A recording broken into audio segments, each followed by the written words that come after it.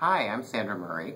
I'm now the team leader here at Keller Williams, but when I took Bold last October, I had just merged my company with Keller Williams, and I was really excited about what happened with Bold.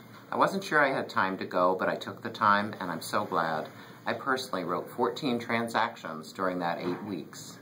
I laughed, I cried, and I am so excited that it's coming back. I'll see you at Bold.